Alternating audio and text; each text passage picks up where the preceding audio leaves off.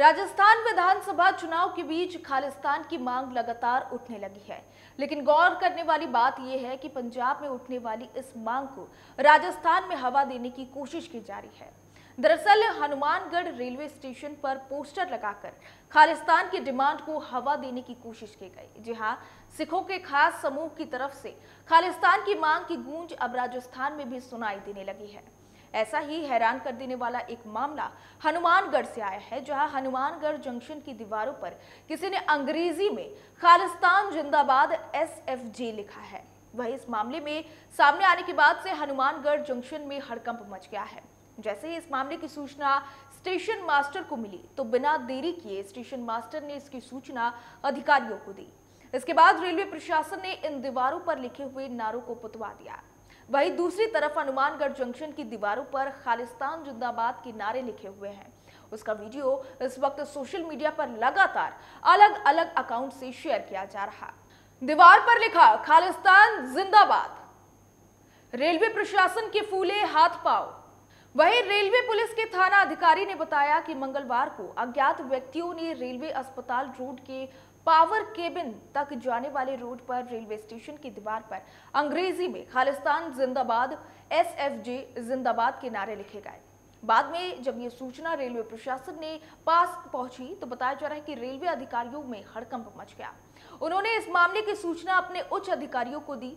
इसके बाद उनके निर्देशन पर रेलवे प्रशासन ने तत्काल इन नारों को पुतवा दिया। वही मामले को लेकर हनुमानगढ़ जंक्शन के कार्यवाहक स्टेशन मास्टर जगत नारायण चौधरी ने जीआरपी पुलिस थाने में अज्ञात लोगों के खिलाफ अशांति और विद्रोह पैदा करने का मामला दर्ज कराया है। फ़िलहाल पुलिस ने शिकायत के आधार पर मामले की जाँच शुरू कर दी है। चुनाव के बीच खालिस्तान की मांग। सोशल मीडिया पर वीडियो हुआ वायरल। रेलवे जंक्शन की दीवारों पर खालिस्तान जिंदाबाद के नारे लिखने के बाद इनका वीडियो बनाया गया जी हाँ इस वीडियो को अब सोशल मीडिया पर अलग अलग अकाउंट से शेयर किया जा रहा इस वीडियो में कहा गया है कि वाहे गुरु जी दी खालसा वाहे गुरु जी दी फतेह। ये पूरा मामला हनुमानगढ़ जंक्शन राजस्थान के रेलवे स्टेशन का है, जहाँ खालिस्तान का झंडा लगा दिया गया।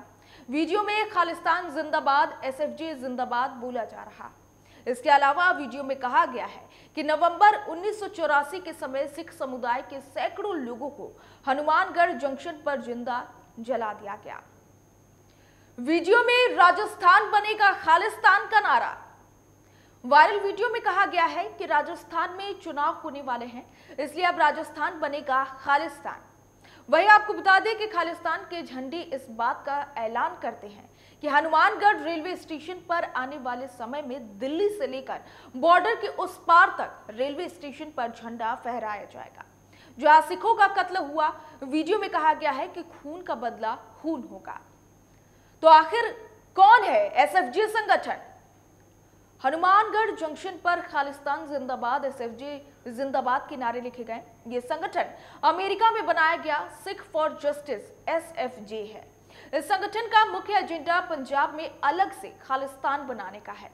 अमेरिका में वकील और पंजाब यूनिवर्सिटी से लॉ की डिग्री ले चुके गुरवंत सिंह पन्नू, एसएफजे का चेहरा है, जो लगातार सुर्खियों में बन चुके हैं।